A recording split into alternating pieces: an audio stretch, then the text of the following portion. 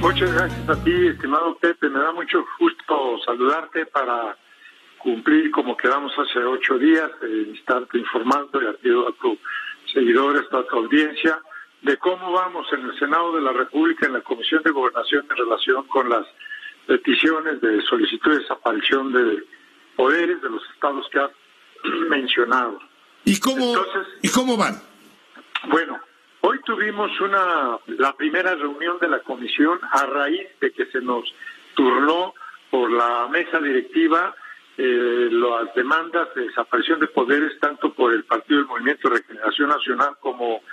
del Partido Acción Nacional. Tuvimos la reunión concurrida y representativa con el quórum legal respectivo. Eh, yo me permití plantear que para que no pudiéramos, eh, eh, no actuáramos de manera precipitada en la toma de una decisión,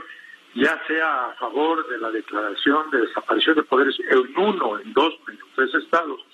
o en su defecto de desechar una o las dos o tres solicitudes, pudiéramos darnos todavía una semana más para hacer un análisis jurídico, técnico, y a la vez pues recabar información de cómo vemos y sentimos lo que está ocurriendo en cada una de estas entidades federativas y a la vez porque la ley nos obligaba prácticamente en un término de cinco días que se vence mañana a tomar una decisión que yo considero que podía ser precipitada fuera en el sentido que fuese, sí, es decir, si declarábamos que sí era válido y procedente y sin mayores elementos la separación de poderes, creo que hubiera sido algo demasiado precipitado.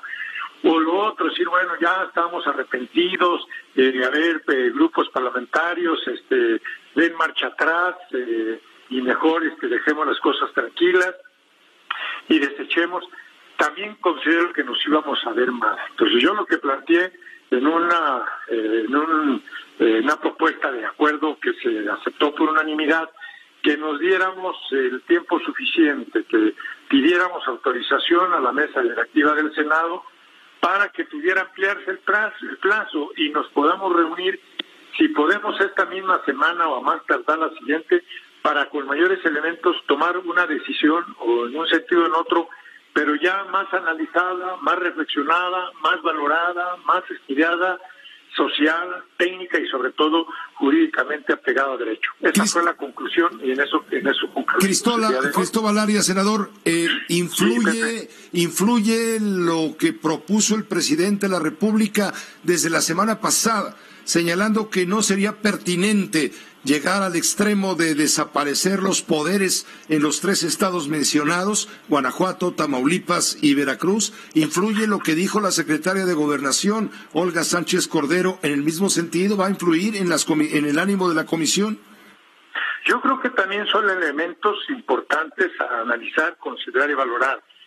Por supuesto, tratándose, bueno, de, con respeto al titular productivo, pero no podemos desconocer que evidentemente pues es una, una voz importante en el contexto institucional que debe de tomarse en cuenta y valorarse porque pues él también tiene el pulso de lo que ocurre en la nación y yo creo que eso también ha, influido. Y por otro lado yo creo que también, lo digo sinceramente, eh, no creo que me desmientan, creo que los partidos políticos involucrados en este diferendo eh, Acción Nacional, que fue el que tomó la primera iniciativa, y luego después el Movimiento de Regeneración Nacional, también por lo que yo he palpado, pues sienten que, creo, no digo que haya unanimidad, pero creo que también están viendo que fue también una acción un tanto muy drástica, decir, bueno, aquí tenemos diferencias y vamos a dividirlas por la vía de las de las desapariciones de poderes, no es cualquier cosa, Pepe, yo creo que son varios factores, el factor presidencial, el factor gobernación, el factor de las direcciones de los partidos. Yo no tengo duda alguna de que seguramente los propios gobernadores de los estados se han acercado a, a gobernación al poder ejecutivo, los dirigentes de los partidos nacionales y muy probablemente, a lo mejor aquí especulo, pero por la experiencia política que considero haber adquirido en este ejercicio, me permite dilucidar que, es muy posible que haya habido una serie de acercamientos que van permeando en el ánimo también de, los senadores y de los integrantes de la propia comisión, porque todos estuvieron de acuerdo finalmente en el planteamiento que yo les hice. Yo inicialmente, Pepe, llevaba un proyecto diferente que retiré, que consistía en someter a la consideración de los integrantes de la comisión formar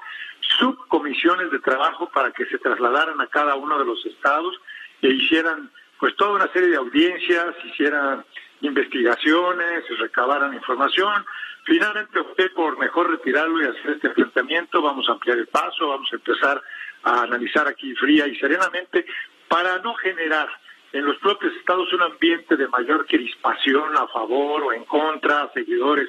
de los poderes representantes de los poderes de los estados o los contrarios, etcétera. Y creo que lo mejor fue eso. Démonos un espacio de análisis y de reflexión y después, en unos días más, tomemos la decisión que consideremos que es la más procedente jurídicamente y también alimentada de elementos políticos. Pues muchas gracias, senador. Gracias, Cristóbal, como siempre. Por la palabra estaba empeñada con la audiencia de Grupo Fórmula. Seguimos con la palabra empeñada para la semana que viene.